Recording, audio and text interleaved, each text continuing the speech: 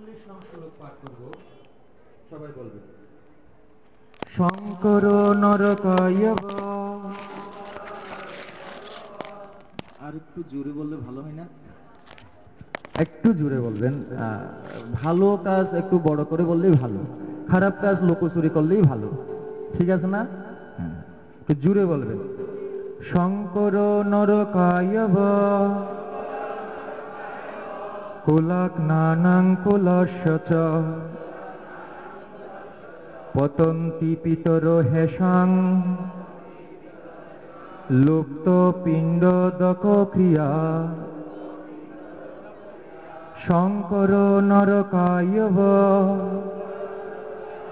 কুলাক নানাং কুলস্য চ পতন্তি পিতর হেসাং। লুপ্ত পিণ্ড দক ক্রিয়া।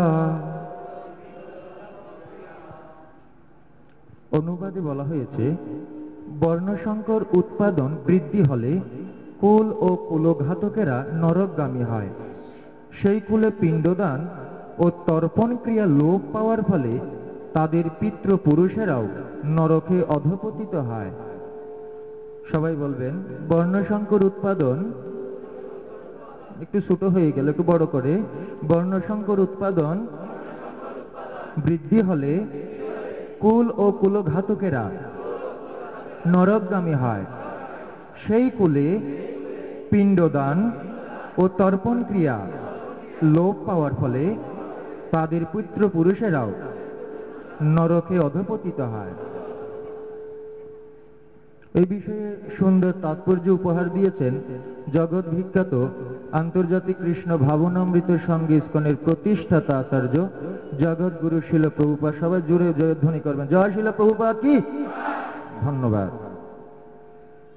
কর্মকাণ্ডের বিধি অনুসারে পিতৃপুরুষের আত্মাদের প্রতি পিণ্ডদান ও জল উৎসর্গ করা প্রয়োজন। এই উৎসর্গ সম্পন্ন করা হয় বিষ্ণুকে পূজা করার মাধ্যমে। হরে কৃষ্ণ। আপনারা একটু যদি কথা না বলেন, খুব খুশি হব। কারণ, বিষ্ণুকে উৎসর্গকৃত প্রসাদ সেবন করার ফলে সমস্ত পাপ থেকে মুক্তি লাভ হয়। অনেক সময় পিতৃপুরুষেরা নানা রকমের পাপের ফল ভোগ করতে থাকে এবং অনেক সময় তাদের কেউ কেউ জড়দেহ পর্যন্ত ধারণ করতে পারে না। সূক্ষ্ম দেহে প্রেতাত্মা রূপে তাদের থাকতে বাধ্য করা হয়। যখন বংশের কেউ তার পিতৃপুরুষদের ভগবত প্রসাদ উৎসর্গ করে পিণ্ড দান করে, তখন তাদের আত্মা ভূতের দেহ অথবা অন্যান্য দুঃখময় জীবন থেকে মুক্ত হয়ে শান্তি লাভ করে। পিতৃপুরুষের আত্মার সদ্গতির জন্য এই পিণ্ডদান করাটা বংশানুক্রমিক রীতি। তবে যে সমস্ত লোক ভক্তি যোগ সাধন করেন, তাদের এই অনুষ্ঠান করার প্রয়োজন নেই। ভক্তিযুগ সাধন করার মাধ্যমে ভক্ত এক লক্ষ পূর্বপুরুষের আত্মার মুক্তি সাধন করতে পারেন। যিনি সর্বরকম, যিনি সব রকম কর্তব্য পরিত্যাগ করে মুক্তি দানকারী মুকুন্দের চরণে শরণ নিয়েছেন এবং ঐকান্তিকভাবে পন্থাটি গ্রহণ করেছেন, তার আর দেবদেবী, মুনি ঋষি, পরিবার পরিজন, মানব সমাজ ও পিতৃপুরুষের প্রতি কোনো কর্তব্য থাকে না। পরমেশ্বর ভগবানের সেবা করার ফলে এই ধরনের কর্তব্যগুলি আপনা থেকে সম্পাদিত হয়ে যায়। জয় জগৎগুরু শিল প্রভুপাদ কি? হরে কৃষ্ণ। আপনাদের সামনে এসে গীতা পাঠ করার পূর্বে আমার হৃদয়ের মধ্যে একটা ভয় কাজ করছে। খুব ভয় মানে আমি মনে হয় খুব ভয় পাচ্ছি। তার কারণ হচ্ছে একটা অঘটন ঘটে গেছে। এই অঘটনটা শুধু আমি না, আপনাদেরও ঘটতে পারে যে কোনো সময়। তাই আমার মনে হয় যে হাত উপরে তুলে ভগবানের কাছে একটু প্রার্থনা করা উচিত। সবাই একটু হাতগুলো উপরে তুলেন তো। কাদের কাদের হাত আছে দেখি আজকে। সবাই বলেন, ত্রাহিমাম। আরও জুড়ে জুড়ে বলবেন, ত্রাহিমাম। হাতগুলো নামান আপনারা না খুব সহজ সরল মানুষ। আমি বলছি আর আপনারা তুলে ফেলেছেন।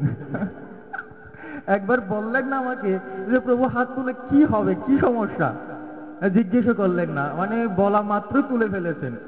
মানে আপনাদের যে, এই যে ভক্তদের প্রতি যে শ্রদ্ধা, এটা খুব সুন্দর। এই জন্য আমি মনে করি আপনারা এই ভগবত গীতা বা ভগবানের কথা শোনার যোগ্য। সবাই একবার জুড়ে বলবেন, হরে কৃষ্ণ। এখন প্রশ্ন হচ্ছে, হাতটা আমি কেন তুলতে বলেছি?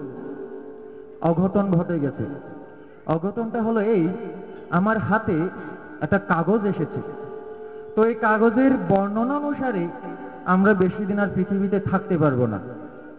এই জন্য এইটাকে আমি খুব ভয় পাচ্ছি যে আমি কাগজটা পেয়েছি, পর- পরবর্তীতে ওনারাও পাবে হয়তোবা। তাহলে ওনারা বিষয়টা যদি ভালো করে না জানে তখন কেমন হয়? তাই মনে মনে ভাবছি আপনাদেরকে বিষয়টা একটু জানাব। তো বিষয়টা হলো এই, শুনলে কিন্তু ভয়টা পাবেন না তো? ভয় পাবেন না তো? ভয় কিন্তু ঠিকই পাবেন, কারণ বিষয়টা খুব জটিল। এই জন্য একটু বুকটাকে একটু শক্ত করুন, আরেকবার জুড়ে বলুন, হরে কৃষ্ণ! এখন কিন্তু ভয় লাগবে না, কারণ কৃষ্ণ আছে আমাদের সঙ্গে। তো ঘটনাটা হলো এই কলকি দেব অর্থাৎ শাস্ত্রে বলা হয়েছে, কলিযুগে ভগবান কলকি অবতার হবেন। আপনারা কলকি দেবের নাম শুনেছেন অনেকেই। ভগবান কলকি অবতার হয়ে গেছেন, এটাই হচ্ছে ঘটনা। মানে আপনারা শুনলে হতবাক হয়ে যাবেন, ভগবান কলকি পৃথিবীতে চলে এসেছেন এবং চন্দ্রপৃষ্ঠে, পৃথিবীর উপগ্রহ চন্দ্রপৃষ্ঠের মধ্যে সেই কলকি দেবের ছবি অলরেডি আপনারা পেয়ে গেছে অনেকেই। এবং সবচেয়ে আরও মজার বিষয় হলো, আমাদের মহাকাশের মধ্যে একটা নক্ষত্র রয়েছে। নক্ষত্রের নাম হচ্ছে মহাশিবলিঙ্গ। এই শিবলিঙ্গটা একটা নক্ষত্রের মতো। ওখানেও এই কলকি দেবের ছবি উঠে গেছে। এখন কলকিদেব পৃথিবীতে চলে এসেছে। আপনাদেরকে বেশি দিন বাঁচতে দেবে না। যারাই পাপ করতেছে, সবাইকে উনি ঘোড়া নিয়ে এসে কাটতে শুরু করবে। এটা কি ঘটনা নাকি অঘটন? জুড়ে বলে কি কি বিষয়টা কি একটু জটিল হয়ে গেল না? ভগবান চলে এসেছে, এখন আপনাদেরকে কাটবে, তারপরে মারবে, ধরবে। ভালো নাকি খারাপ? জুড়ে বলেন, ভালো নাকি খারাপ? ভালো। আপনারা ভয় মানে ধর্মর প্রতি খুব বিশ্বাস সেজন্য ভালো। কিন্তু বিষয়টা হলো কি, একটা কাগজ এসেছে আমাদের কাছে, তো ওখানে লিখেছে কলকি দেব আবির্ভূত হয়ে গিয়েছেন। ওনার নাম হয়েছে ওনার নতুন নাম হয়েছে। আপনারা অনেকে হয়তো বা জানেন, অনেকে জানেন না। ওনার নাম হয়েছে রা গুরা সাহা। রা গুরা শাহি, শাহিজি শাহিজি রা গুরা শাহিজি। ওনার যিনি পার্সোনাল সেক্রেটারি ওনার নাম হয়েছে শ্রী ইউনুস। নামটা একটু জটিল না? মোহাম্মদ ইউনুস হলে ভালো হইতো না। ওখানে হয়ে গেছে কি জানেন? শ্রী ইউনুস। তো এইরকম একটা কাগজ যারা প্রচার করছেন যে কলকিদেব আবির্ভূত হয়ে গিয়েছেন এবং পৃথিবীতে তিনি ধর্ম সংস্থাপন করতে অলরেডি চলে এসেছেন, এই কাগজটা যারা প্রচার করছেন ওনাদের কাছ থেকে একটু দূরে থাকবেন। ওনাদের এই কাগজ যারা প্রচার করছেন, তাদের যেটা সংস্থা, এটার নাম হচ্ছে কলকি অবতার ফাউন্ডেশন ইন্টারন্যাশনাল। আপনারা যদি চাইতে থাকেন, আমি কাগজটা দেখাই আপনাদের। এটা হচ্ছে সেই কাগজ। এরকম কাগজ ভবিষ্যতে আপনাদের হাতে এসে যেতে পারে। এখানে লিখে আছে যে, কলকি অবতার পৃথিবীতে আবির্ভূত হয়েছেন। কলকি অবতার রা গুহর শাহিজি চন্দ্রময় জ্যোতির্ময়, ওনার নাম। আর ওনার পার্সোনাল সেক্রেটারি হচ্ছেন শ্রী ইউনুস।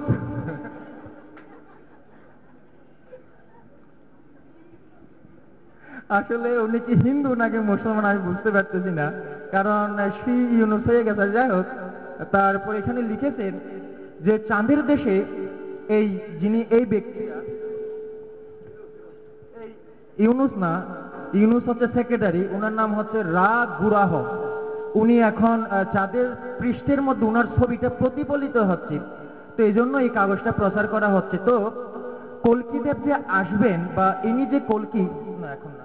একটু একটু ধৈর্য ধরুন, তারপর আপনাকে দিব। তো এই যে কলকিদেব যে এসেছে, এটা লক্ষণ কি? তারা দুটা লক্ষণ ঠিক করেছে। নাম্বার ওয়ান, এক নাম্বার লক্ষণ হলো এই, উনার শরীরটা হচ্ছে খুব জ্যোতির্ময়। ওনার শরীরটা খুব জ্যোতির্ময়। নাম্বার টু লক্ষণ হচ্ছে, কলকি অবতারের লক্ষণ হচ্ছে নাম্বার টু, সেটা হলো উনি ঘোড়ার উপরে বসে আছেন। আমি আপনারা শুনলে হতবাক হয়ে যাবেন, আমার কক্সবাজারে জন্ম। আমি কক্সবাজার শহরে, সদর শহরে জন্মগ্রহণ করেছি। আমরা যখন কক্সবাজার সমুদ্র সৈকতে যখন স্নান করতে যাই, ওখানে আমি হাজার হাজার ঘোড়ায় চড়তে মানুষ দেখি, না জানি কতগুলো কলকি অবতার হইতে পারে। অনেকগুলোকে দেখি, বিশ টাকা দিলে আপনিও মনে হয় কলকি অবতার হয়ে যেতে পারবেন। কারণ আপনি ঘোড়ার উপর উঠবেন, আপনাকে টেনে টেনে নিয়ে যাবে।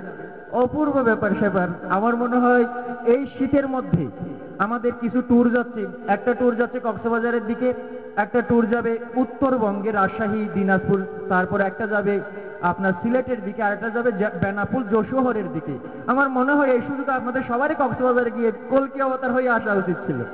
ঠিক কিনা? ঘোড়ায় উঠতেন, একটু বসতেন, আর একটা ছবি টবি তুলতেন। এখানে এসে বলতেন, আমি কলকি অবতার হইয়া গেছি। শুধু ভক্তবৃন্দ সনাতন ধর্মে কেন মানুষ এরকম সনাতন ধর্মকে বিভ্রান্ত করতে চাচ্ছে? আদৌ ভালো মানুষের মস্তিষ্কে তা প্রবেশ করছে না। সনাতন ধর্ম আপন গতিতে চলছে, কিন্তু এই আপন গতিতে চলার ফাঁকেও কিছু মানুষ ঢুকে এই সনাতন ধর্ম নিয়ে এত বিশৃঙ্খলা যে কেন করছে, এটা আমরা বুঝতে পারতেছি না। শুধু ভক্তবৃন্দ, দুইটা লক্ষণ নিয়ে ভগবানের অবতার জাহির হয়ে গেল। শুধু দুইটা লক্ষণ, এক নাম্বার শরীরটা জ্যোতির্ময় দুই নাম্বার ঘোড়ার উপরে বসে আছে। কিন্তু শাস্ত্রে কলকি দেব সম্বন্ধে কি বলা হয়েছে সেটাও আমাদের জানা দরকার। তা না হলে আমরা এই বিষয়গুলোকে সত্য বলেও মনে করতে পারি। শাস্ত্রে কলকি পুরাণ নামে একটা পুরাণ রয়েছে। ব্যাসদেবের অনন্য রচয়িতা অনন্যভাবে কবি এই কলকি পুরাণটা লিপিবদ্ধ করেছেন। সেই কলকি পুরাণে সমস্ত বিশ্লেষণ, সমস্ত বিবরণগুলো বর্ণনা করা হয়েছে। যেমন শ্রী রামচন্দ্র পৃথিবীতে আসার ষাট হাজার পূর্বে পরমেশ্বর ভগবানের ঐকান্তিক ভক্ত বাল্মীকি মুনি লিপিবদ্ধ করেছিলেন শ্রী রামায়ণ আর সেই শ্রী রামায়ণের মধ্যে যা ছিল, হুবহু সেরকমই শ্রী রামচন্দ্র এসে লীলাবিলাস করে গিয়েছেন। আপনারা সকলেই তা জানেন। ঠিক কলকি পুরাণে কলকিদেব এসে কি কি করবেন, তার সুন্দর বর্ণনা রয়েছে। পরমেশ্বর ভগবান শ্রীকৃষ্ণ এখানে যে কাগজটা আছে, এখানে যিনি গুড়া অর্থাৎ যিনি অবতার, ওনার কোনো ঠিকানা দেওয়া হয়নি। ওনার কোনো কোথায় অবস্থা- অবস্থান করছেন, কোথায় আছেন, কোনো কিছু ঠিকানা নাই। কিন্তু শাস্ত্রে আমি এই এই কাগজটা পাওয়ার পরে একটা কলকি পুরাণ সংগ্রহ করেছি। তো কলকি পুরাণটা পড়ে এত কিছু সুন্দর কিছু জানতে পেরেছি। আসলে সনাতন ধর্ম যে কত নিখুঁত, কত সুন্দর, কত ভালো, এটা না পড়লে বোঝা যায় না। কথাই বলে, খাইয়া বুঝিতে হয়। কেউ যদি আপনাকে একটা বোতল এনে দিয়ে বলে, ভাই, এখানে মধু আছে, আপনি মধুটা খান। এখন আপনি কি বললেন? আমি দেখেই বুঝতে পারছি মধুটা কীরকম হবে। এটা কিন্তু বুদ্ধিমানের কাজ নয়। আবার কিছু কিছু মানুষ এরকম বলতে পারে যে, মধু খাইতে হবে কেন? আমি মধুর বথলের উপর একটু সাটাসাটি করে দেখি না কি হয়। এইরকম মানুষও কিন্তু মধু খাইতে পারবে না, মধুর স্বাদ বুঝতে পারবে না। যারা প্রকৃত মধুর স্বাদ বুঝতে চায়, তাদেরকে ঢাকনাটা খুলে একটু কষ্ট করে খেতে হবে, তাহলে মধুর স্বাদটা বুঝতে পারবে। এইরকম সনাতন ধর্মের বিষয়গুলো যদি কেউ বুঝতে চায়, কেউ জানতে চায়, তাকে অবশ্যই আগে সনাতন ধর্মের বিষয়গুলো ভালো করে জানা দরকার। তাকে ভালো করে অধ্যয়ন করা দরকার এবং সেগুলোর নিয়ম অনুসারে জীবনযাপন করার চেষ্টা করা উচিত। তাহলে বিষয়গুলো পরিষ্কার হয়। শুধু ভক্তবৃন্দ, সেই কলকি পুরাণে লেখা আছে কলিযুগের যখন সন্ধিক্ষণ হবে, সন্ধিক্ষণ শব্দের অর্থে শেষের দিকে আসবে। শেষের শব্দের অর্থে কলিযুগের আয়ু হচ্ছে চার লক্ষ বত্রিশ হাজার বছর। এখন বর্তমান কলিযুগের আয়ু চলছে শাস্ত্র মতে মাত্র পাঁচ হাজার বছর। আরও চার লক্ষ সাতাশ হাজার বছর আছে। চার লক্ষ সাতাশ হাজার বছর পরে ভগবান শ্রীকৃষ্ণ উড়িষ্যা রাজ্যের মধ্যে। বর্তমানে ভারতের উড়িষ্যা রাজ্য, সেখানে সম্বল নামে একটা গ্রাম রয়েছে। সেই গ্রামের মধ্যে বিষ্ণু যশা নামক একজন ব্রাহ্মণ বসবাস করবে, যিনি অত্যন্ত বিষ্ণু ভক্ত এবং ধর্মপরায়ণ। আপনি একটা প্রশ্ন করতে পারেন, প্রভু, আমি এই পর্যন্ত বহুবার ভগবানকে ডেকেছি, কিন্তু ভগবানকে দেখি না। ব্যাপারটা কি? ভগবানকে দেখা যায় না নাকি দেখা যায়? ভগবান আপনার আমার সামনে আসবেন না। কেন আসবেন না? কারণ তিনি জানেন, ভগবানকে দেখতে হলে যে চক্ষুর প্রয়োজন, এখনও সেই চক্ষু আপনি লাভ করতে পারেন না। কেননা একটা লোহার দোকানে আপনি গেলেন, লোহার মধ্যে একজন ওয়ার্লিং করতেছে। তারপরে একটা লম্বা একটা যন্ত্র দিয়ে সেই ওয়ার্লিং করতেছে, একটা ছটক বের হচ্ছে। আপনি দেখবেন তার সামনে যেতে সুকের মধ্যে হাত দিয়ে দেবেন দেবেন কি দেবেন না? ওয়ার্লিং করার সময় যখন আগুন বের হয়, আপনি চোখে হাত দেবেন কি দেবেন না? সামান্য একটা ওয়ার্লিং করবে, এটার আগুনে সহ্য করতে পারতেছেন না। আপনি ভগবানের জ্যোতি সহ্য করবেন কি করে? এই জন্য আমাদের মতো ক্ষুদ্র জীবের সামনে ভগবান সহজে আবির্ভূত হয় না। কারণ আপনি ভস্মীভূত হয়ে যেতে পারেন। শাস্ত্রে বলা হয়েছে ব্রহ্ম সংহিতা নামক শাস্ত্রে স্বয়ং ব্রহ্মাজি বলছেন, কোটি কোটি সূর্যের মতো জ্যোতির্ময়। এমনকি চন্দ্রের নিজস্ব আলো নেই। বৈজ্ঞানিকরা সিদ্ধান্ত দিচ্ছেন যে সূর্যের নিজস্ব আলো আছে। কিন্তু আমাদের পুরাণ শাস্ত্র সিদ্ধান্ত দিচ্ছে সূর্য গ্রহেরও নিজস্ব আলো নেই। কারণ সে ভগবানের দিব্য দেহ থেকে যে জ্যোতি বের হয়, সেই জ্যোতি নিয়ে সূর্য আলোকিত হয়। বিষয়টা একটু বুঝতে পেরেছেন? এই জন্য সনাতন ধর্মের বিষয়গুলো অনেক গভীর এবং সুনিপুণ। এজন্য এই সনাতন ধর্মের বিষয়গুলো বুঝতে হলে আগে মানুষকে ধর্মীয় জীবনযাপন অনুশীলন করা উচিত। তা না হলে এই জ্ঞানগুলো মানুষের হৃদয়ে প্রকাশিত হয় না। যেমনটি ময়লা পাত্রে দুধ দিলে সে দুধটার গুণ আর ঠিক থাকে না। ঠিক সেরকম অপবিত্র হৃদয়ে মাছ, মাংস যেমন তেমন করে যারা চলে, ওদের হৃদয়ে পবিত্র দুধের মতো পবিত্র জ্ঞান কখনো বিকশিত হয় না। এই জন্য শাস্ত্রে বলা হয়েছে, আগে হৃদয় পবিত্র করা দরকার। শুধু ভক্তবৃন্দ ভগবান সবার সামনে আসবেন না, কিন্তু আসবেন কার কাছে? যিনি ভগবানের মহান ভক্ত, যিনি ভগবানের জন্য তার জীবন, যৌবন সর্বস্ব উৎসর্গ করেছেন, তার কাছে ভগবান আসবেন। এইরকম একজন মহান ভক্তের নাম হচ্ছেন বিষ্ণু যশা। যিনি অত্যন্ত সুন্দরভাবে বিষ্ণুর উপাসনা করেন। তার পত্নী, তার পত্নীর নাম কি জানেন? তার পত্নীর নাম হবে সুমতি। এখন থেকে চার লক্ষ বত্রিশ হাজার বছর পর কি হবে সেটা এখন বর্ণনা করছি। সৌভাগ্যের বিষয় যে ব্যাসদেব আমাদেরকে সব দিব্য দৃষ্টির মাধ্যমে জানিয়ে দিয়ে গিয়েছেন, উনার করুণায় আমরা তা লাভ করতে পারছি। এই সুমতি অত্যন্ত পতিব্রতা নারী। ইনারা দুজন পৃথকভাবে লক্ষ লক্ষ বছর ধরে সাধনা করবেন। এখন প্রশ্ন হতে পারে, প্রভু, আপনি বেশাসনে বসেছেন, আপনার মতো মাইকে কথা বলে যাচ্ছেন, লক্ষ লক্ষ মানুষ বাসে কি করে? লক্ষ লক্ষ বছর মানুষ বাসে কি করে, এটা আমি বুঝতে পারতেছি না। কথাটা কিন্তু জটিল আছে। আপনি প্রশ্ন করতে পারেন, প্রভু, মানুষ কি লক্ষ লক্ষ বছর বাসে এক মাস, দুই মাস, দশ বছর হলেই তো আমাদের শরীরের অবস্থা খারাপ। তার মধ্যে যদি আর একটু বয়স হয়, একেবারে তো বৃদ্ধ হলে তো অবস্থা খুব খারাপ, একশো বছরে বৃদ্ধ হয়ে যায়। লক্ষ লক্ষ বছর মানুষ বাসে কি করে? শুধু ভক্তবৃন্দ, কেউ যখন খুব গভীর ভাবে সাধনা করে, সিদ্ধি লাভ করে তখন ভগবান যদি তার কাছে এসে বলেন, আমি তোমার ঘরে জন্মগ্রহণ করব। তখন সেই সমস্ত বদ্ধ জীব, সেই সমস্ত মুক্ত জীবগুলোকে ভগবান লক্ষ লক্ষ বছর বাঁচিয়ে রাখেন। ভগবানের শক্তিতে এই সমস্ত বদ্ধ, এই সমস্ত মুক্ত জীবগুলো বহু বছর ধরে বেঁচে থাকে। যখন সচী মাতার ঘর থেকে নিমাই পণ্ডিত সন্ন্যাস নিয়ে চলে গিয়েছিলেন, তখন মা সচী দেবী কয়েক বছর কিছু খান নাই। এখন প্রশ্ন এসে যায় তিনি বেঁচে ছিলেন কি করে, কয়েক বছর কিছু না খেয়ে। তাই বৃন্দাবন দাস ঠাকুর লিখছেন, স্বয়ং গৌরাঙ্গ মহাপ্রভুর কৃপায় তিনি বেঁচে ছিলেন এই জন্য কথাই বলে, রাখে হরি মারে কে, আর মারে হরি রাখে কে। ভগবান যদি কাউকে রাখতে চায়, মারার মতো সাধ্য তার কেউ নেই। এই বিষ্ণু যশা এবং সুমতিকে ভগবান বহু কৃপাপূর্বক তাদেরকে যত্নপরায়ণ সহকারে অবস্থান করাবেন। তারা লক্ষ লক্ষ বছর ধরে সাধনা করবেন। অবশেষে ভগবান শ্রীকৃষ্ণ তাদেরই কাছে অবতীর্ণ হবেন। অবতীর্ণ যখন হবেন, তখন ভগবান শ্রী বিষ্ণু অবতীর্ণ যিনি হবেন কলকি, তিনি চতুর্ভুজ থাকবেন। এক হাতে শঙ্খ, এক হাতে চক্র, এক হাতে গদা, এক হাতে পদ্ম। এই চতুর্ভুজ রূপ দর্শন করে ব্রাহ্মণ এবং ব্রাহ্মণী খুব কি হয়ে যাবে? আবেগ প্রবণ হয়ে যাবে। আমার ঘরে স্বয়ং ভগবান এসেছে। তখন কি করবে? ব্রহ্মাজি, উনার লীলাটা যাতে সুন্দর হয়, সেজন্য পবন দেবকে পাঠাবেন। পবন দেব, আপনি গিয়ে ভগবানের কানে কানে গিয়ে বলুন, যেন তিনি দুই বুঝ হয়ে যায়। দুইটা হাত যেন ওনার শরীর থেকে অন্তর্ধ্যান করে ফেলে, লুকিয়ে ফেলে। ব্রহ্মার কথা অনুসারে এই ভগবান শ্রী কল্কিদেব চতুর্ভুজ রূপে অবতীর্ণ হবেন ঠিকই, কিন্তু দুই দুইভুজ অন্তর্ধান করে দুই ভুজ রূপে পৃথিবীতে লীলাবিলাস করবেন। সেই সময় ব্যাসদেব অশ্বতামা কৃপাচার্য এবং ভগবানের মহান মহান সমস্ত দেবতারা ভগবানকে দর্শন করতে আসবেন। দর্শন করতে এসে ভগবানের নামকরণ করবেন তারা। ভগবানের নাম রাখবেন তারা কলকি।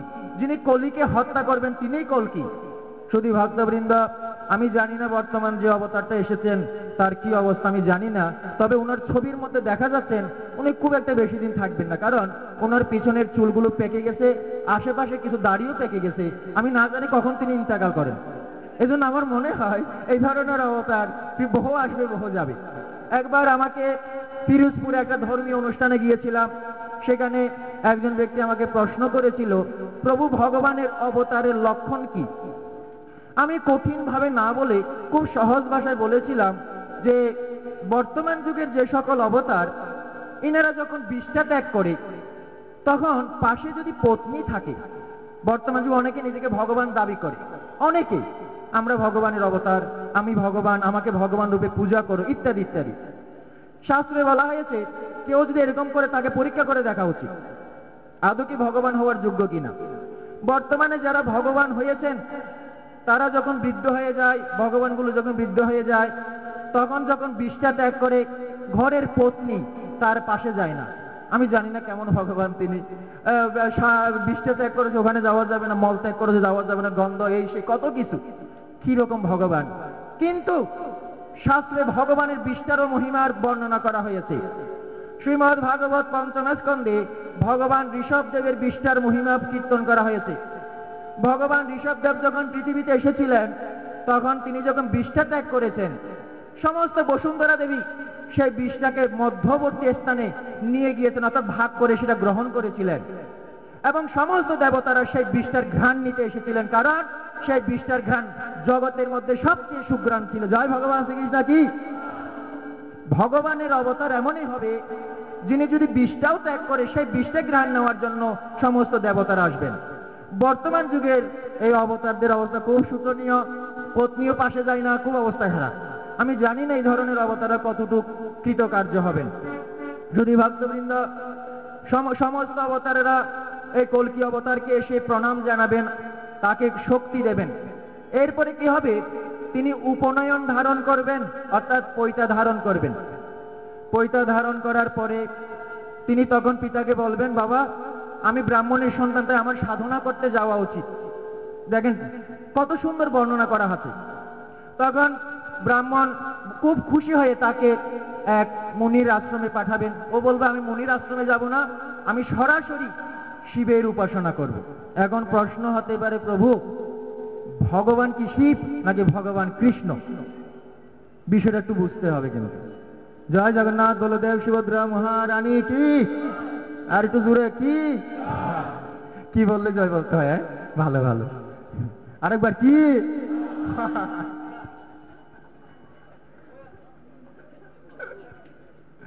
যাই হোক, তো এখন ভগবান শিবের কাছে কেন যাবেন?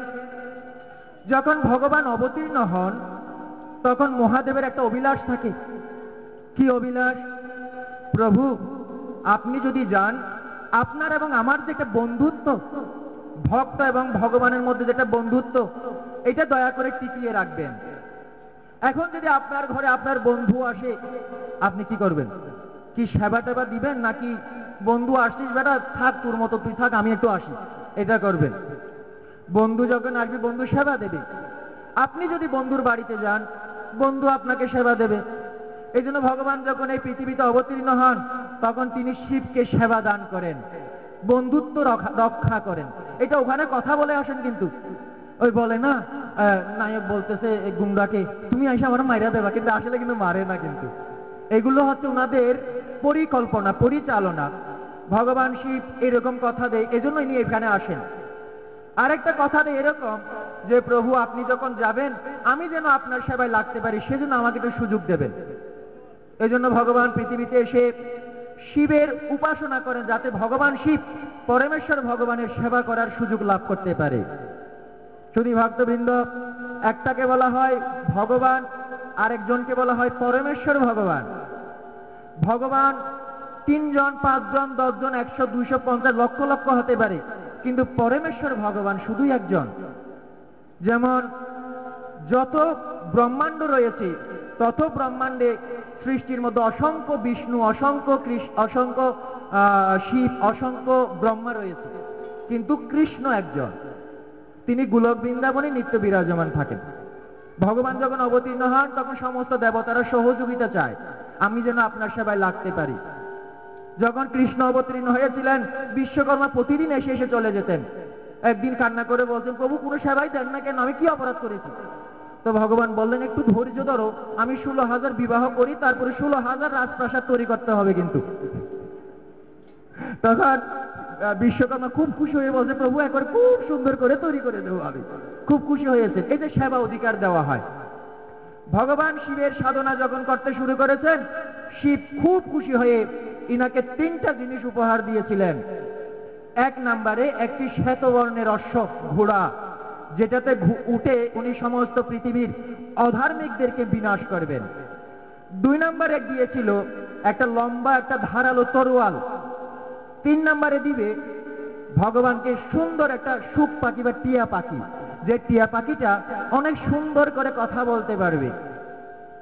এই টিয়া পাখিটা দিয়েই ওই রাধা কৃষ্ণ যেভাবে মিলন হয়, ঠিক এই টিয়া পাখিকে দিয়ে ভগবান ভগবানের যে নিত্য সঙ্গিনী অবতার হবেন পদ্মাবতী, তার সাথে মিলন হবে। বর্ণনাগুলো এত সুন্দর করে দেওয়া হয়েছে, এগুলোই হবে পৃথিবীতে। কিন্তু এখন যে কি হইতেছে, এটা আমি বুঝতেছি না। এই যে এখন পৃথিবীর চন্দ্র গ্রহের মধ্যে যে প্রতিফলিত হচ্ছে ছবিটা ছবিটা কি ছবি? প্রতিফলিত হচ্ছে, বোঝা যাচ্ছে না। তারপরে কি হবে? ভগবান এই সমস্ত তিনটা জিনিস নিয়ে যখন শিবের কাছ থেকে এই সমস্ত জিনিস নিয়ে চলে আসবেন, চলে আসার পর কি হবে? তিনি যে রাজ্যে আসবেন, সে রাজ্যে কিছু খারাপ মানুষেরা, কিছু ডাকাতরা সে রাজ্য আক্রমণ করবেন। তখন ভগবান তাদেরকে এই অস্ত্র দিয়ে হত্যা করে রাজাকে রক্ষা করবেন। রাজা বলবেন, তুমি যেহেতু প্রভু আমাকে রক্ষা করেছ, আজ থেকে এই রাজ্য তোমার। বুঝতে পেরেছেন? এই রাজ্য তিনি নিয়ে নেবেন। সম্বল রাজ্যটা, সম্বল গ্রামটা তিনি নিয়ে নেবেন, রাজ্যটা নিয়ে নেবেন, উড়িষ্যা রাজ্য নিয়ে নেবেন। এরপরে তিনি সমস্ত পৃথিবী পরিভ্রমণ করবেন। সে সময় এই সুখ পাখিকে বলবেন, আমার নিত্য সঙ্গিনী কোথায়? তুমি তার অনুসন্ধান করে আসো। অর্থাৎ লক্ষ্মী দেবী কোথায় গিয়ে জন্মগ্রহণ করছে, এটা অনুসন্ধান করো। সেই সময় সিংহল নামক এক জায়গায় এখনও বর্তমানে সিংহল রয়েছে। এই সিংহল নামক স্থানে এক বৃহৎ ভানু নামক, এক বৃহৎব্রত নামক এক রাজার ঘরে এই পদ্মাবতী নামে লক্ষ্মী দেবী জন্মগ্রহণ করবেন। এই টিয়া এই লক্ষ্মী দেবী কি করবেন? তিনি একই রকম শিবের উপাসনা করবেন, শিবের কাছে প্রার্থনা করবেন, শিব এসে দর্শন দেবেন, মা, তুমি আমার কাছে কি চাও? লক্ষ্মী দেবী বলবেন, আমি ভগবান শ্রীকৃষ্ণ, অর্থাৎ যিনি অবতীর্ণ হবেন, ভগবান নারায়ণকে আমি স্বামী হিসেবে পেতে চাই। তখন এই কথা শুনে শিব বলবেন, তথাস্তু, তুমি পাবে। শিব চলে যাবেন। এমন সময় এই পদ্মাবতী দেবী শিবকে বলবেন, প্রভু, কিছুদিনের মধ্যে আমার আমার পিতা আমার জন্য স্বয়ম্বর সভার অনুষ্ঠান করেছেন। এখানে আমাকে একটা হাতে মালা দেওয়া হবে। আমি কাউকে না কাউকে আমাকে স্বামী হিসেবে বরণ করতে হবে। এই জন্য আমাকে এমন একটা আশীর্বাদ দিন। আমাকে যে পত্নী রূপে অথবা কাম বাসনা নিয়ে যে আমাকে দেখবে সে যেন স্ত্রী হয়ে যায়। বিষয়টা বুঝতে পেরেছেন? আমাকে এমন বরদিন আমাকে কেউ যদি পত্নী হিসেবে পেতে চায়, সে যদি ভগবান ছাড়া অন্য কেউ হয়, সে যেন নারী হয়ে যায়। একদিন আশীর্বাদ দিয়েছেন, উনি চলে এসেছেন। বৃহৎ ব্রত রাজা এবং মালিনী দেবী, উনার পত্নী খুব সুন্দর একটা স্বয়ম্বর সভা করবেন। কারণ কন্যা বড় হয়েছে, স্বয়ম্বর সভা। এখন তো স্বয়ম্বর সভা নেই, আগে স্বয়ম্বর সভা ছিল রাজার মেয়েদের।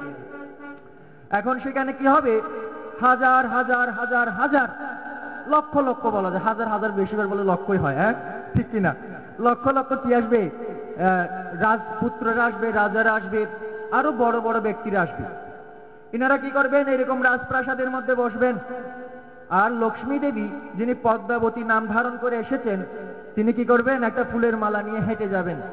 ওনার রূপ দেখেই সবাই মনে মনে ভাববেন ইনি যদি আমার পত্নী হতো, ওরা তো বিষয়টা জানে না। ইনি যদি আমার, এই মেয়েটা যদি আমার পত্নী হতো, আমার বউ হতো, আমার স্ত্রী হতো, কি যে হইতো এই আশা করা মাত্রই দেখে শরীরের গঠন প্রণালী একটু পরিবর্তন হয়ে গেছে। সবাই একবার জোরে বলবেন, জয় ভগবান শ্রীকৃষ্ণ, কি? কৃষ্ণের কি লীলা? কারণ তার সঙ্গিনীকে কেউ হাত দিতেই পারবে না। প্রশ্ন হতে পারে, রাধারানীকে হাত দিয়েছিল কেন? রাধারানী অন্যের ঘরের ঘরণী হয়েছিল কেন? যিনি আপনারা যাকে অয়ন ঘোষ নামে চিনেন, উনি ভগবান শ্রীকৃষ্ণের একটা রূপ। ভগবান শ্রীকৃষ্ণের রূপ না হলে লোক রাধারানীকে স্পর্শ করা মাত্র ভস্ম হয়ে যাবে। ঠিক একই রকম ভাবে প্রশ্ন করতে পারেন, প্রভু রাবণ কেন সীতাকে হরণ করতে পেরেছিলেন? আসল সীতাকে তো অগ্নিদেবের কাছে গোষ্ঠীতে রেখেছিলেন। ওই নকল সীতাকে নিয়ে গেছে। আর নকল সীতাকে নিয়ে গিয়ে তার বংশ নষ্ট হয়ে গেছে। যদি আসল সীতাকে নিয়ে যাইতো, তাহলে কি যে হইতো বিষয়টা বোঝা বড় ভার। নকল সীতা নিয়ে গেছে, এতেই রাক্ষস বংশ ধ্বংস। যদি আসল সীতাকে নিয়ে যেত, তাহলে কি হতো? রাক্ষস বংশ ধ্বংস হইতো না, মনে হয় কি? কিছুই থাকতো না পৃথিবীতে। কারণ লক্ষ্মী দেবীকে স্পর্শ করার শক্তি জড়জাগতিক বা সাধারণ কোনো মানুষের নেই। ভগবানের রূপ লীলা সুন্দর করার জন্য, জীবকে শিক্ষা দেওয়ার জন্য, পরের ঘরে থেকে কীভাবে ভগবানকে শিক্ষা, ভগবানকে ভালোবাসতে হয়, সেই শিক্ষা দেওয়ার জন্য জগৎ মাতা অয়ন ঘোষ রূপ ভগবান শ্রীকৃষ্ণের এই ঘরে ছিলেন। বিষয়টা আমরা যারা জানি না, আমাদের যাদের চক্ষুগুলো অনেকটা কামের দ্বারা আশ্চন্য আমরা সব বিষয়গুলোকে এরকমই মনে করি। জয় ভগবান শ্রী শ্রীকৃষ্ণ কি? জয় রাধা রানী কি? এই জন্য আমাদের বিষয়গুলো জানা দরকার। শুধু ভক্তবৃন্দ এই ভগবানের প্রিয় পদ্মাবতীকে জয় জগন্নাথ বলদেব সুভদ্রা মহারানী কি? কি? যতই জয় দেবেন, ততই জয় হবে। শাস্ত্রে বলছে, জয় দিলে জয় হয়। আবার বললাম, জয় কি? তো কি হবে? পদ্মাবতী যখন হেঁটে যাবে, অসংখ্য রাজারা তাকে পত্নী রূপে পাওয়ার এবং খারাপ বাসনা করবেন। সঙ্গে সঙ্গে সবার দেহের গঠন প্রণালী পরিবর্তন হয়ে যাবে। যখন এ পরিবর্তন হয়ে যাবে, তারা তখন চিৎকার করে ওনার চরণ কমলে পড়ে যাবেন। মাতে আমাদের এই কি অবস্থা হলো। তখন এই পদ্মাবতী কি করবেন? পদ্মাবতী তখন তাদেরকে বলবেন, ঠিক আছে, তোমরা দুঃখ করে না, আজ থেকে তোমরা আমার সখী হিসেবে থেকে যাও। জয় মাতা পদ্মাবতী কি? তোমরা আজ থেকে আমার সখী হিসেবে থেকে যাও। তোমাদের ভরণ পোষণের দায়িত্ব আমি নিয়ে নিলাম। এইরকম একটা লীলা হবে। এরপরে ইনি খুব কষ্টপ্রাপ্ত হয়ে, মাতা খুব কষ্টপ্রাপ্ত হয়ে ঘরের ভিতরে গিয়ে খুব কান্নাকাটি করবেন। কেন করবেন? যদি প্রভু নারায়ণ যদি আমাকে এসে দর্শন করে, যদি উনার যদি এই অবস্থা হয়ে যায়, তাহলে আমার প্রভুর কষ্টের জন্য আমি দায়। মানে আসলে কি হয়, ভগবানকে কেউ যখন খুব ভালোবেসে ফেলে, তখন তিনি যে ভগবান, এই কথাটা সে ভুলে যায়। এই কথাটা ভুলে যায়। মাতা যশোদা প্রতিদিনে দেখেছেন কৃষ্ণ কত অসুরকে মেরেছেন, তবুও প্রতিদিন ভয় পায়। আজকে যদি কেউ এসে আমাকে মেরে, আমার কৃষ্ণকে মেরে ফেলে, কিন্তু সে প্রতিদিনে দেখেছে কৃষ্ণ মারতেছে। কেন? বাৎসল্য ভালোবাসা। আপনার পুত্র অত্যন্ত বড় যোদ্ধা। আপনার পুত্র বড় যোদ্ধা। কিন্তু তবুও সে যখন যুদ্ধ করতে যায়, আপনার ভয় হবে। কেন ভয় হবে? ভালোবাসার টানে। এরকম সেই পদ্মাবতী মনে মনে ভাববেন, আমার প্রভু যদি আমাকে দেখে এ সখী হয়ে যায়, তাহলে দুজনেই সখী হয়ে গেলাম। তাহলে আমি বিয়ে করব কি করে তাকে? এই দুঃখে তিনি কক্ষের মধ্যে গিয়ে খুব কান্নাকাটি করবেন। এমন সময় ওই সুখ পাখিটা আস্তে আস্তে আস্তে আস্তে উড়ে আসবেন। উড়ে এসে গাছের ঢালে বসবেন। গাছের ঢালে বসে খুব সুন্দর করে কথা বলবেন। আর কথা শুনে তখন ওই পদ্মাবতী সুখ পাখিকে বলবেন, হে পাখি, আমি বহু পাখি দেখেছি, কথা বলা পাখি তো দেখি নাই। তুমি কি আমার একটু দরজার কাছে আসবে? সুখ পাখি সুযোগ বুঝে দরজার কাছে যাবে। তো বলবে, তুমি কি সংবাদ নিয়ে এসেছ? তুমি এত সুন্দর করে কথা বলতো তুমি কার? তুমি কার অধীনে থাকো? তখন তিনি বলবেন, আমি ভগবান কলকি অবতার, যিনি নারায়ণের অবতার, তার সঙ্গে আমি থাকি। তো নারায়ণের অবতার হয়েছে নাম কি, নাম তার কলকি তার রূপ মহিমা কি রকম বর্ণনা শুরু হয়ে যাবে। তিনি অত্যন্ত জ্যোতির্ময় এবং খুব সুন্দর। তিনি চিরনবীন তার কখনো দাড়ি মুছ থাকবে না। শুধু ভক্তবৃন্দ আপনারা বিষয়টা একটু দেখেন দাড়ি মুছ থাকবে না। এখানে যে ব্যক্তিটা আছে একটু দাড়ি মুছ আছে কিনা দেখেন তো। আছে কিনা? সবাই জুড়ে বলেন আছে কিনা? আছে। আছে কিন্তু। আচ্ছা, যাই হোক এটা আবার পরে আর একটু দেখাবো এটা থাকে কেন হ্যাঁ? ওনাকে কিন্তু দিয়ে দিতে হবে দিনাই কেন আবার দেখাবো যে এই জন্য দিনাই। ওনার দাড়ি আছে। যিনি অবতীর্ণ হবেন ভগবান, ওনার কোনো দাড়ি মুছ থাকবে না। চির নবীন তিনি। এমনকি তিনি এইভাবে পৃথিবী থেকে অন্তর্ধান হয়ে চলে যাবেন। কৃষ্ণ যখন পৃথিবীতে এসেছিলেন, এক আট ষোলো হাজার একশো আটজন বিবাহ করেছিলেন। প্রত্যেকের ঘরে দশটা করে সন্তান উৎপাদন করেছিলেন। বললেন, প্রভু, কীভাবে সম্ভব? ভগবান শ্রীকৃষ্ণ এই কনিষ্ঠ আঙ্গুল দিয়ে যতবার স্পর্শ করেছেন, ততবার সন্তানের সৃষ্টি হয়েছেন। এমনকি সবচেয়ে মজার বিষয় হচ্ছে, ভগবান কোন নারী ছাড়াও সন্তান তৈরি করতে পারে। যেমন যেমন ব্রহ্মা। ব্রহ্মাকে বলা হয় ভগবানের পুত্র। কার পুত্র ভগবান বিষ্ণুর পুত্র। কেন? পাশে লক্ষ্মী দেবী আছে, ওনাকে স্পর্শ করলে কিন্তু ব্রহ্মার সৃষ্টি হয়। উনি বলছে, তোমাকে দিয়ে সৃষ্টি করব না। আমি নিজে সৃষ্টি করব। দেখেন কৃষ্ণের কি শক্তি। কি করলেন? বললেন, ব্রহ্মা সৃষ্টি হও। সঙ্গে সঙ্গে ভগবানের নাভি থেকে একটা পদ্ম ফুল বের হয়েছে। সেই পদ্ম ফুলের উপর ভগবান ব্রহ্মার সৃষ্টি হয়। দেখছেন? পাশে কিন্তু একটা মেয়ে আছে। আমার মেয়ের প্রয়োজন নিজে নিজে সৃষ্টি করতে পারি। এই জন্য ইনি ভগবান। এই জন্য তিনি ভগবান, তিনি কারও সহযোগিতা লাগতেও পারে, নাও লাগতে পারে, কোনো ধার ধারে না। সর্বশক্তিমান তিনি। এই জন্য ভগবান শ্রীকৃষ্ণ প্রত্যেককে এই কনিষ্ঠ আঙ্গুল স্পর্শ করে করে দশটা দশটা সন্তান দিয়ে, সন্তানের সংখ্যা হয়েছিল এক লক্ষ একষট্টি হাজার। কল্পনা করা যায়? ভগবান শ্রীকৃষ্ণের সন্তানের সংখ্যা কত? জুড়ে বলেন, এক লক্ষ একষট্টি হাজার। তাদেরকে বিবাহ দিয়েছেন, তাদেরকে বিবাহ দিয়ে আবার তাদের থেকে, তাদেরকে আশীর্বাদ করে বললেন, স্পর্শ করে করে তোমাদের প্রত্যেক জন থেকে দশ দশটা করে সন্তান তৈরি করো। এইভাবে সব মিলিয়ে এক কোটি কৃষ্ণের বংশ। যদু বংশের সংখ্যা কত ছিল? এক কোটি।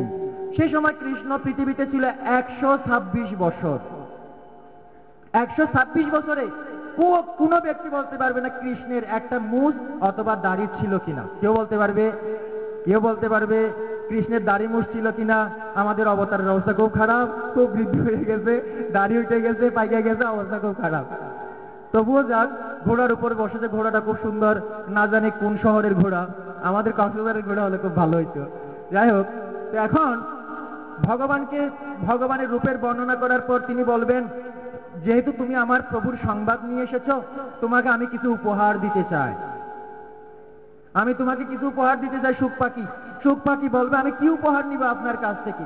আমাকে, আমি কি করব? তখন বলবে, তোমাকে আমি সুন্দর করে সাজাতে চাই। এই বলে পদ্মাবতী সেই পাখিটিকে খুব সুন্দর সুন্দর সোনার কানফুল সোনার নাকফুল সোনার পায়ে সোনার চুড়ি সুন্দর করে সাজিয়ে দিয়ে পাঠিয়ে দেবে। ভগবান তো সম্বল গ্রাম, সম্বল এলাকায় অবস্থান করছেন উড়িষ্যা রাজ্যে। সিংহল থেকে পাখি এসে বলবে, প্রভু, আমি মহাকুশি। কেন? আমি সাইজে গেছি, দেখেন না কি সুন্দর। আমার সর্ব অঙ্গে শোনা আমি মহাকুশি। তো কে পড়াই দিয়েছে এত সুন্দর করে? তোমাকে তুমি কার কাছে গিয়েছিলা? বলবে যে, প্রভু, আমি মায়ের কাছে গিয়েছিলাম। কোন মা? আরে জানেন না আপনার বউ, আপনার যিনি পত্নী হবে, আমি সেই মায়ের কাছে গিয়েছিলাম। ভগবান বলবেন, কি বলো তুমি? হ্যাঁ সিংহল গ্রামে উনি এসেছেন, মাতা লক্ষ্মী দেবী পদ্মাবতী। কি যে সুন্দর, আপনি না গেলে বুঝতে পারবেন না। তারপরে কি করবেন? তিনি বলবেন, ঠিক আছে, আমি তাকে তার কাছে যাব। এখন পদ্মাবতীর বাবা মা মাথায় হাত দিয়ে চিন্তা করতেছে যে আমার মেয়ের বিয়ে করতে আসছে, সে তো অবস্থা খারাপ হয়ে যাচ্ছে, আমার মেয়ের কি হবে? যদি ঘরে যদি যুবতী মেয়ে থাকে, যদি বিবাহ না হয় বাবা মায়ের কেমন লাগে? ভালো নাকি খারাপ? নিশ্চয় খারাপ লাগে। আমার মনে ভালো লাগে যে মেয়ে তো আছে, না গেলেই ভালো নাকি? না, খারাপই লাগে। পদ্মাবতীর জন্য পিতামাতা খুব কষ্ট পাবে, খুব কষ্ট পাবে। আমার মেয়েটা তো বিয়ে হচ্ছে না, কেন?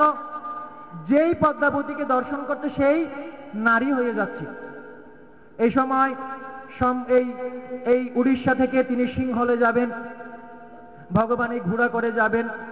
গিয়ে তিনি পদ্মাবতী যে পুকুরে স্নান করবে, রাজার যে পুকুরে স্নান করবে, সেই পুকুরে হাত মুখ ধুয়ে তিনি পাশের একটা ঘাটে গিয়ে বিশ্রাম করবেন।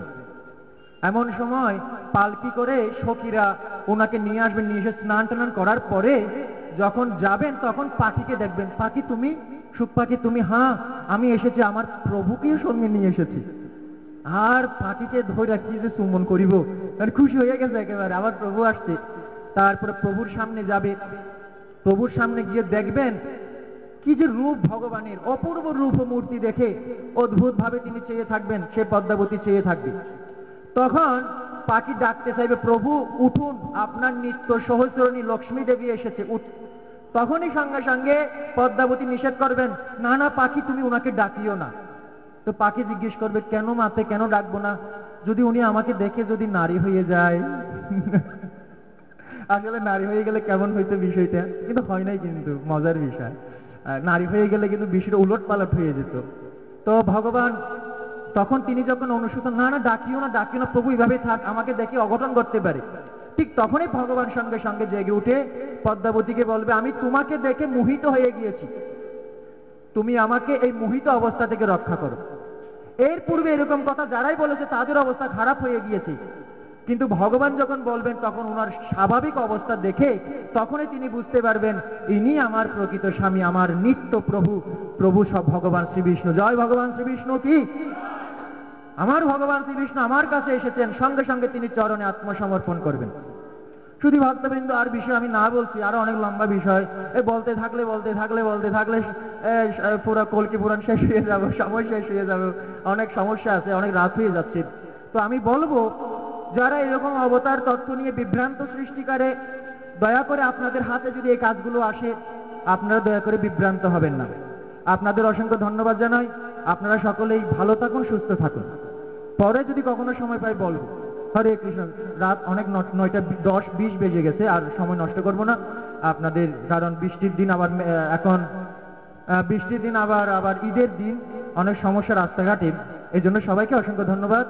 অবতার বিশ্বাস করবেন না। হরে কৃষ্ণ। জয় শিলা প্রভুপাদ কি? জয় ভগবান শ্রীকৃষ্ণ কি?